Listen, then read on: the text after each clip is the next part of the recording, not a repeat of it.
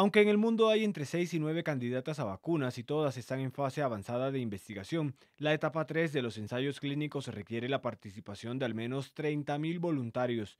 Este viernes, la portavoz de la Organización Mundial de la Salud, Margaret Harris, anunció que lo más probable es que haya que esperar hasta mediados de 2021 para que se realicen vacunaciones masivas contra el coronavirus.